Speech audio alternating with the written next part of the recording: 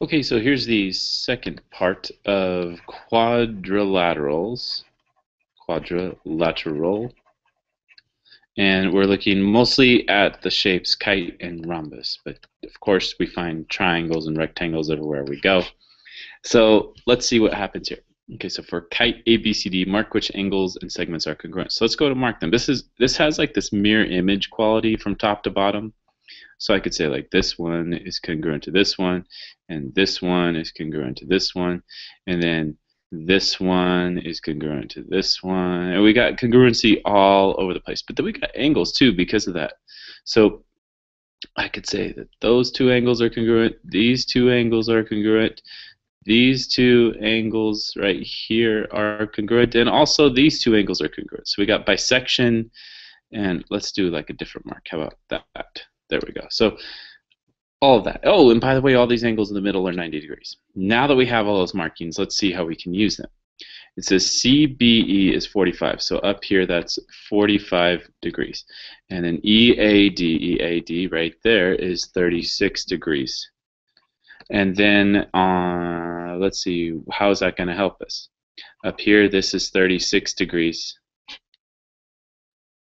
uh, on top as well, and then let's see what we can find. Um, if this is 90 degrees, this is 36 degrees here, and then that's a triangle. Check that out. We got a triangle with 36 and 90, and then we don't know what this other, whoops, cancel, uh, what this other thing would be right here. Well, those three should add up to 180. So 36 plus 90 plus something equals 180. So if I were to add those two together, that'd be 126 plus something equals 180, and then in the end we could figure out what that one up there would be. I know I'm kind of going past what it actually said, but it's good just to find all the angles and then go back and see which ones it's really asking for. So we'd have, let's see, 74, no, 64. 64 is going to be our question mark. No, not 64, 54. All right, so this up here would be 54, which would mean that one down there is the same. Let's do the same thing we are doing for this triangle over here. 90 plus 45 plus something equals 90. That's kind of, this is actually a very symmetrical triangle because 90 plus 45 plus 45 is 180. So that one there would also be 45. Okay, so let's see what we got. ECD.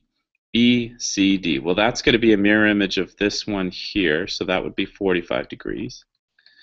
And then CDA, CDA. Now, I, I've seen students do this a couple of different ways. So, one is we could say, well, it's 54 and 45 put together. So you could say 54 plus 45 because we found all of those, and that would be 99. The other option is if I were to redraw this triangle, let's see if we can trace it here. This one down on the bottom. And then let me move that over here. Uh, that's just a triangle itself. It's kind of like two triangles built into one triangle. And over here we have 36. Over here we have 45. And you could add those up, those three pieces up to 180, and you could solve for that missing piece there. All right, then it says BD equals 10. Ooh, I should probably redraw this this shape. Let's let's do another redrawing of it, so we can see all the pieces.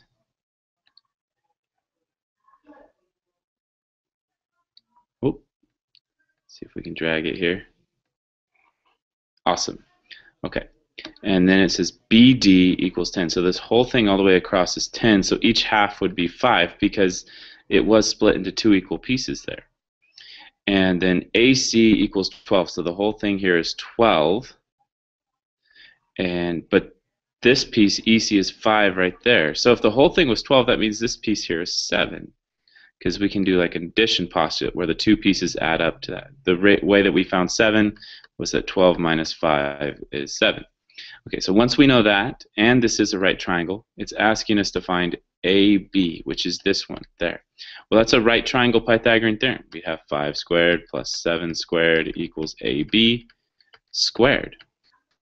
And then that's 25 and 49 equals AB squared. And then when you add those together, you would get 74. So 74 square rooted is AB. And there we go. That's that's it for that one.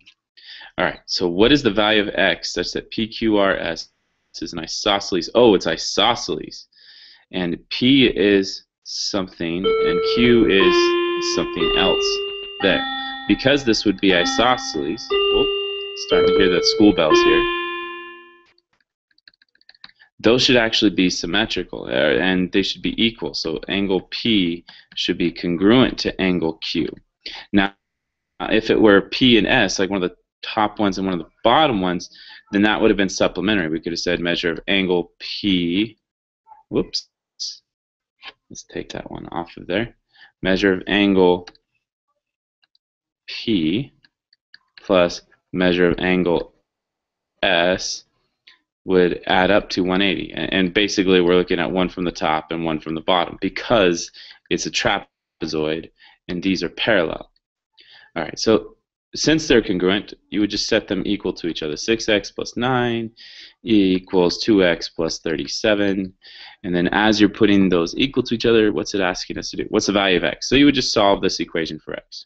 Let's go ahead and skip to the last one here we have two pieces, 18 and 28, and because this is exactly in the middle, that means that this top piece is going to be the other half of that middle. So if we think, okay, from 28 to 18, that's a, that's 10 units. So then we got to go 10 more units, and we'd end up at 8. So what's the top piece? It's 8. All right, so that's just a quick overview of this. Of course, things change here and there. Like, did we need to go congruent or supplementary? Uh, how did we do these relationships of angles? Just remember the mirror image symmetry, and that'll get you there. All right, so that's it. Thank you.